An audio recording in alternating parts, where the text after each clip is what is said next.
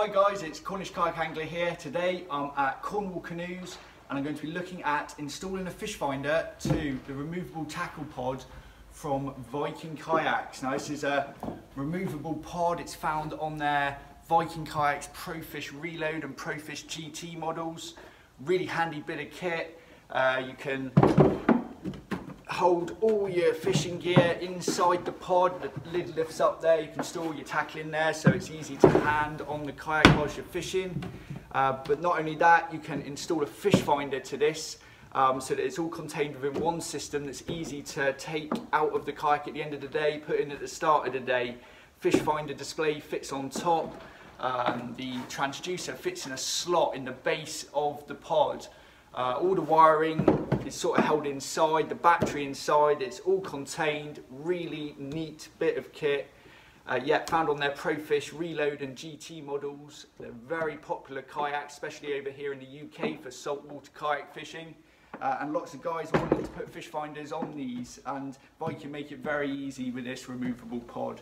And today I'm just going to run through how to fit a fish finder to a pod uh, it, the same process goes for much of the fish finders out there on the market.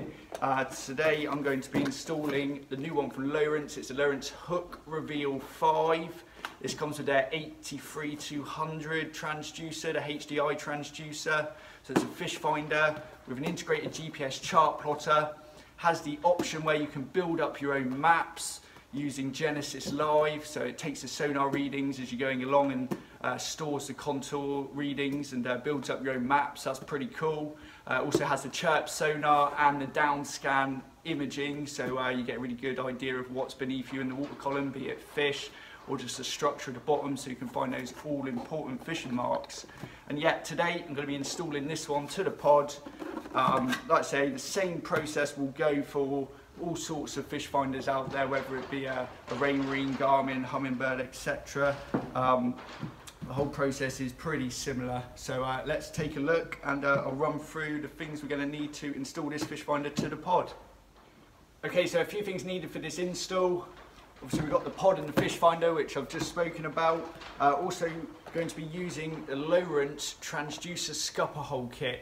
So this will allow us to fit the transducer into the uh, scupper hole, which is found in the bottom of this pod. Uh, so that's a off-the-shelf accessory which makes it very easy to fit that transducer to the pod. Uh, we're going to need a battery to power the fish finder. This is just a standard 12 volt, 7 amp hour sealed lead acid battery. Uh, it's got some little terminals on top and for those we'll be needing a couple of spade end connectors. These are just crimp-on spade end connectors, 6.3 millimeter wide ones, uh, insulated ones. They're going to be crimped onto the end of the power cable so that we can uh, attach power cable to the battery nice and easily.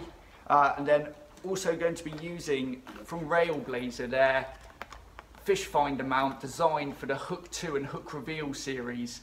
Uh, it's going to be used with a Railblaza starport base, so that's going to be bolted onto the pod. This will uh, plug into the back of the fish finder. It's an aftermarket fish finder mount with plenty of adjustability uh, and it makes it nice and easy to take the fish finder off and on the pod if you need to. The fish finder does come with a mount as standard, but uh, we're going to use uh, one of these nice Railblaza mounts uh, this time round. Uh, now, a few tools also required. Going to be needing a drill or electric drill or screwdriver. Uh, you can have a hand screwdriver as well, that's quite useful. Uh, some drill bits and also some sealant going to need a drop of that to seal some fixings uh, and also some pliers or some crimping tools to uh, crimp on those spade end connectors. Uh, right, so let's start. Let's have a look at how we're going to install this. Uh, I'm going to start by installing the transducer, which is uh, the most fiddly bit of the install, so we'll start with that. Uh, now I'm going to need to open up the, the box for the fish finder and get out the parts we need. Uh, so we open it up. There's the display unit in a little packet there. We can pop that to one side, don't need that just yet. Then take out the packaging and get to, here's the transducer. This is the 83200 HDI transducer, loaded cable on it with a connector on the end. Uh, we're going to be needing that one. Uh, also in here comes with a standard mount Uh, not going to be using that because we're using the Railblaza mount, so that can stay in the box. We've got the power cable. Don't need this one just yet, but I'll take it out and put it to one side. I'll need it shortly. And then there's a few packets of parts. Now, the only one we really need is the bit with the transducer fittings inside. Uh, so we open that up, there's a, a, little packet with some washers in there, some plastic washers and rubber washers. You're going to need those. Uh, there's also the stem which sits on top of the transducer, that attached to the transducer, we're going to need that one. Then there's also in here a bolt, uh, going to need that one as well, along with a couple of stainless washers so there's a couple of small washers, uh, we'll need those. The rest we can pop to one side, we won't be needing just at the moment. Okay, so as mentioned, I'm going to be using the Lowrance transducer scupper hole kit to install the transducer to the pod. Uh, this installs inside the pod, underneath this plate here. So we're going to have to remove this, it's held in place with two screws, so we can just take a screwdriver to undo these. And beneath here, opens up to sort of a, a recess, sealed in recess, sealed off from the rest of the pod where we can store all the excess wiring from the transducer and also fit this scupper hole mount kit. So I've just done the screws there, pop that off, that disc there, plastic disc which sits on top. As you can see there, opens up to a sealed recess and you can see the hole in the bottom there where we're going to uh, mount this transducer mount. And if we just pop open this box, here's uh, the main of the transducer mount. It's effectively a long threaded stem with a, a fitting on the bottom where we can fit the transducer and uh, a wing nut and the top plate basically clamps it together either side of the scupper hole uh, and mounts it securely in this pod. So just good to have a look at installing that now. So I'll just take this wing nut off, take off the bits we don't need for a minute and I'll install the transducer to the bottom. So all these just slide off, these extra top plates, there's a foam disc and a rubber disc. Leaves just the, the threaded stem with the uh, attachment on the bottom.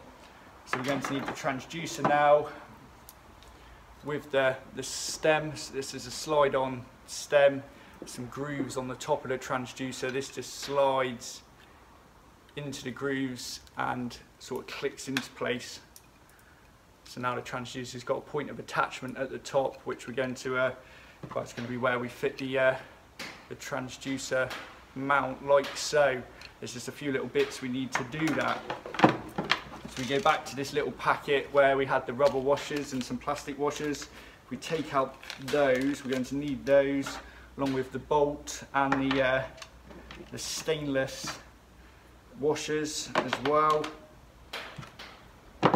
Now, the plastic washers, they have teeth. You might not be able to see it, they have teeth either side of the washer. Um, one side sits against the eyelet on the top of the transducer and the other slots into, into the mount. You can sort of see where it's uh, grooved there.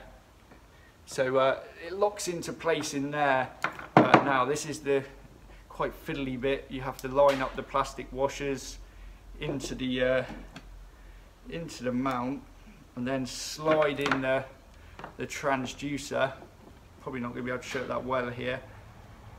You sort of slide that into position, line it all up and eventually it will find its position where the teeth lock into the uh, transducer eyelet and it sort of sits in position. Uh, you want to sort of set it at a right angle there.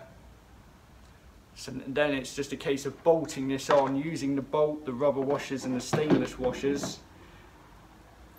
So you take your bolt, pop on first the stainless washer and then a rubber washer like so and pass this through the uh, the hole through the mount, through the top of the transducer. And then on the other side where the threads now come out, we pop on the uh, rubber washer again, the stainless washer, and then the nut.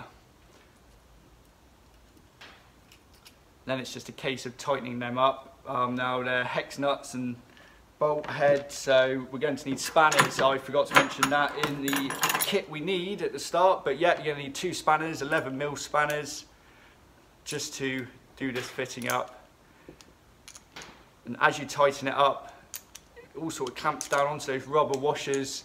Uh, you don't need to overdo it, but just enough so it's fully secure and it's not going to jump out of position. Let's just tighten that up here now sort of see as you get in there the rubber washers start to crush and you won't need to go much more once they start doing that.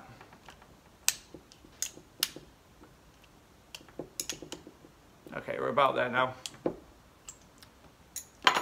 So now that's fully secured on there. It's ready for attachment into the uh, base of the pod. And all we do is we flip the pod over threaded rod up through the hole in the bottom there. You should see it sort of all matches up nicely so the transducer is going to sit nice and level in the in the recess there. Um, before we do that you want to get all the transducer wire and pass this the hole and bring it up through the top side pass that through, through. There's loads of cable with this. It's not all needed on a kayak. Useful if you're on a boat where you're fitting the transducer to the transom and the head unit's up in the cuddy or in the cabin. For a kayak, because everything's so close together, all this excess wire, not really needed, but we can, luckily we can coil it up and uh, store the excess in this pod. So yeah, I've just pulled all that wiring through so that leaves the uh, wiring. There's a, there is a groove in the uh, in the mount. You might be able to see it there that the uh, wire can slot into, and that allows it to sort of sit securely when this transducer mount's in place. Okay, now you might be able to see that there if I show you it closely how that's fitted in there. So that's where the finished uh, sort of position where it's going to sit. We've just got to do up the top side of the mount now to secure it in position. We need the foam washer that come with the kit. That can pop on top.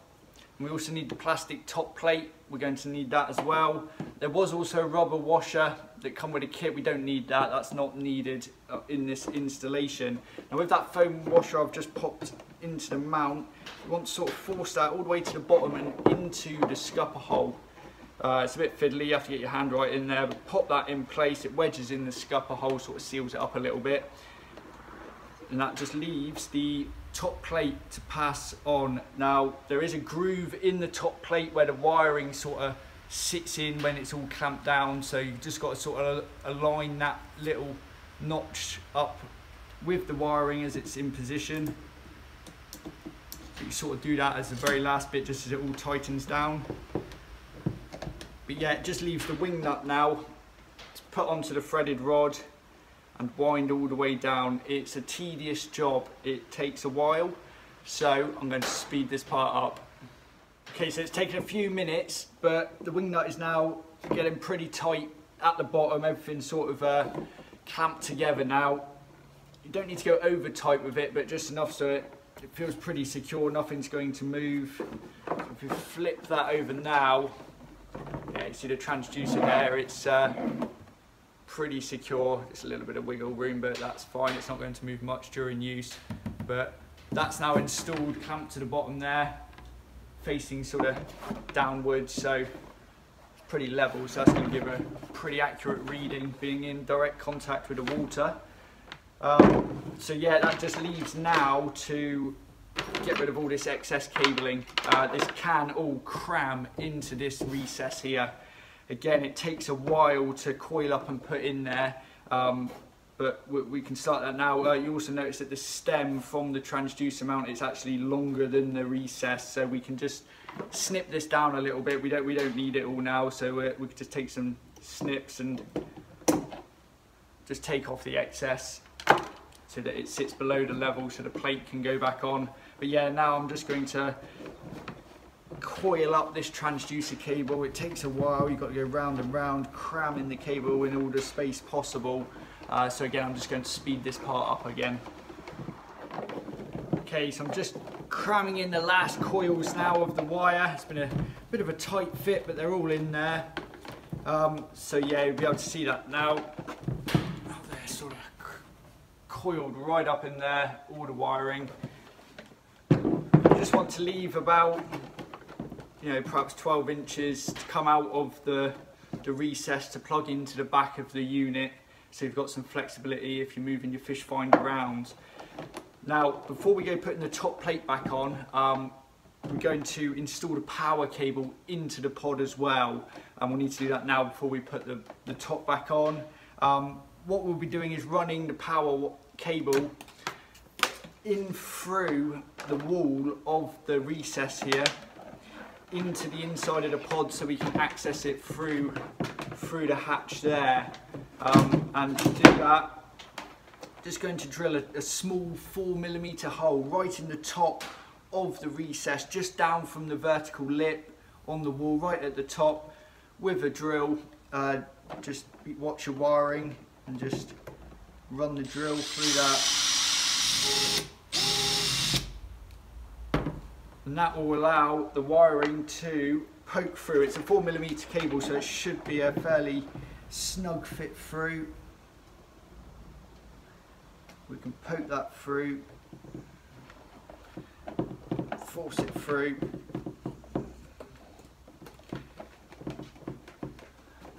And it can make it easier to pull it from the other side. Pull all the excess through. And again, leave maybe 10 to 12 inches between it coming out from the recess and the, the connector into the back of the unit. And because that hole's right at the top of the pod, it's well above the water line. You won't find any water gets in there. However, always good practice to pop a drop of sealant just around the, the wire there, uh, just to waterproof that little hole there. I'm just using some clear Sikaflex EBT Plus. And uh, that stuff's really good at sealing all sorts of fixings on kayaks. But yeah, I've just uh, smeared a drop around that wire just make sure it sits all the way around and against the hole. So that's in there, no problem. So yeah, now it leaves the top plate to go back on. Now that top plate was a disc. What we've needed to do, or what I've had to do, is to cut a slot in the top of the disc. You can see it there. Just with a hacksaw, we could use uh, some snips to snip it in there. Uh, but what that's going to allow the wiring to do is to come out to the top side and reach the fish finder. So if I get this in place now, you'll be able to see how that how that goes. Just sort of cram it on into position. So I've got the wires now coming out from the pod through the plate and I just need to uh, put, pop the screws back in which held that plate in place and that keeps everything in position and snug.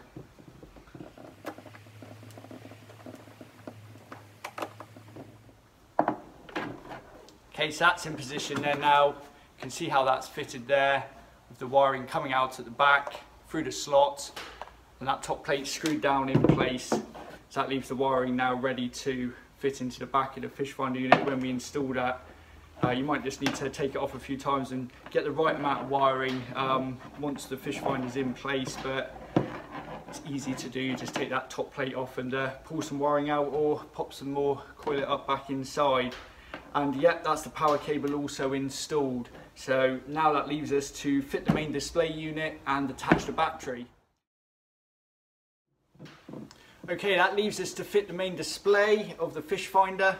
So the main head unit here. Uh, to do that, we're using the Railblaza mount for the fish finder. Uh, and that's going to plug into a starport base, which we're now going to bolt onto the pod. Uh, so to do that, we're going to sort of position it just back from that disc which opened up to the recess, uh, in, right in the centre. Uh, the the starport from Railblaza, it comes with some bolts, some M6 stainless bolts with some washers and nuts. So we're going to use those to fit the starport.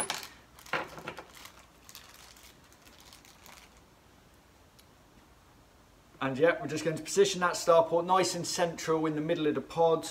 Uh, I've got a drill with a two mil drill bit in just to mark some uh, mark some pilot holes. But yeah, when you're happy it's in position and nice and level, we can just uh, yeah pop a couple of pilot holes through there just to mark where the holes are going to go.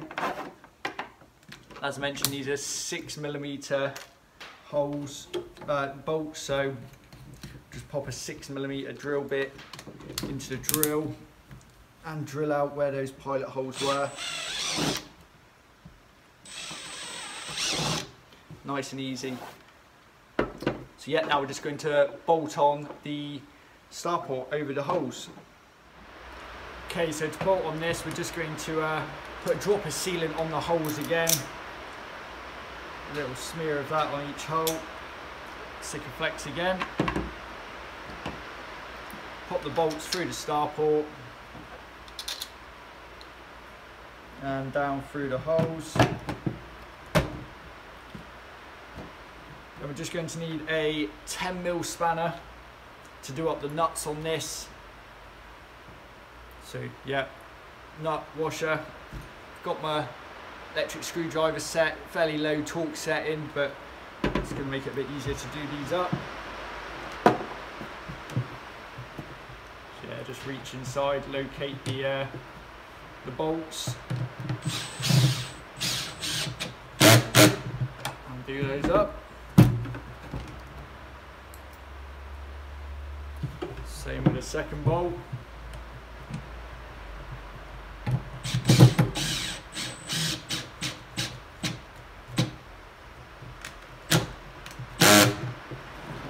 Okay, so that's the starport now fitted nice and securely to the pod. So that just leaves us now to uh, to fit the fish finder to the to the mount to plug into this starport. So there's a little adapter on the end of a, an R-lock adjustable arm.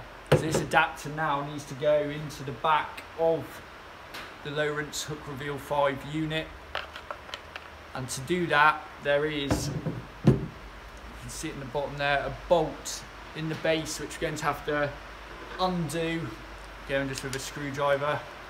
As we undo this it loosens the the mount. You can see it they're getting closer together. Sort of allows it to pivot. What that allows us to do is to pop it into the back of that mount wiggle it into position and then do that back up again in the desired position. Got it at about 45 degree angle to the screen. So that can just be nipped up there that bolt. And you can see there that's that's in position there now. And it allows you to to to move the mount if you want as well so that now can just be plugged into this adjustable arm, R-lock adjustable arm. As with all Railblaza stuff, there's a little grey locking collar, so that locks it into position. And then we take the rubber cap off the starport base. Again, unlock the locking collar, and this can now pop into position lock in place. Now we can just make fine adjustments so that the fish finder screen sits nice and level. Um, you can just check if the, you know, we can see there the the hatch lid when it's open at full extent it's only just reaching the fish finder so that's about right there I mean if we wanted we can we can make this more upright angle the fish finder fish finder sits a little higher off the deck but now it's completely clear of the screen when the hatch lid opens. So that's that there and you've got plenty of swivel adjustability on this mount angle adjustability so it allows you to get your screen at that perfect angle for viewing whilst you're paddling and fishing. And then you've got the two wire connectors. They go into the back of the unit. They're sort of push fit connectors so you just got to locate them in the in the correct orientation and then pop those into position. Just push those in it's always worth perhaps just popping a, a little bit of a dielectrical grease on the connectors, the brass terminals. Uh, they're always the weak point of any kayak, saltwater corrosion. If you leave saltwater sit on any electrical terminals, eventually they will uh, corrode away. So it's always good, a preventative measure to uh, put a dab of uh, dielectric grease, something like corrosion block grease is very good. Uh, on the terminals, just keeps them in prime condition so that you won't ever get any connection problems or corrosion problems. So yeah, that, and now we can just see the wiring just enough there to reach the unit. It's all plugged in there, like so. The push fit into the back connectors there. So now the fish finder is in place. It leaves us now just to hook up the power source and then the fish finder will be fully working and fully installed to the pod. Okay, so now we've just got to power the fish finder and hook up the battery. So yeah, this is a 12 volt, 7 amp hour sealed lead acid battery. Uh, it's going to power this fish finder for a couple of days before it needs charging, so a couple of day sessions, perhaps you know a couple of eight hour trips. Um, to recharge, just use a 12 volt trickle charger. Um, don't go using a, a full-on car battery charger because you will fry these batteries. You'll end up warping the, the battery plates inside. So it's got to be a trickle charger when you're recharging these small batteries. Um, but yeah, we just simply got to take our, our power lead. Um, there's a, so a positive and negative end, red and black. Um, and we just got to match those up with the red and black terminals on the top of the battery. Uh, now you don't need to have a degree in uh, electrics or anything like that, electronics, to uh, hook this stuff up. It's simply a case of connecting one to the other. Uh, to make it easy, we can crimp on some spade end terminals uh, to the ends of the wires so that it just slips straight onto the connectors on the fish finder. And uh, yeah, you just take some of the exposed uh, wire at the end. You might want to double it up and twist it around a bit to bulk it up, but you can simply just slot those into the crimps uh, take some pliers or a crimping tool and just crimp those in position. Like so it says, one on in place, nice and secure. And we just take the second one, pop that on the other cable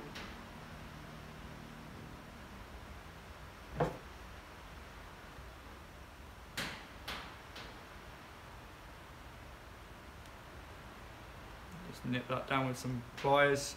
So again, that's nice and secure on there. Then we can literally just hook it up to the uh, to the battery terminals. Might just have to wiggle them on if they're a little tight. There's one in position. We hook up the other side and we should have then power to the fish finder, providing the, the connections are all in the back. And if we take off the protective sticker on the fish finder.